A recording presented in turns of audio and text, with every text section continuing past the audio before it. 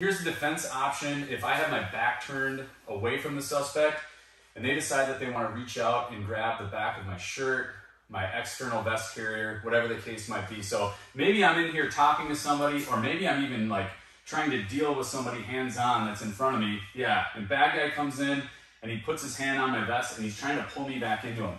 What I want to do from here is I'm basically going to turn into him, right? So I'm going to bring my arm up, I'm going to turn in wrap up suspect's arm, and I'm gonna put my hand right on his shoulder, square back up with them, and from here I can step in and I can finish Osotogari and take him right down to the ground.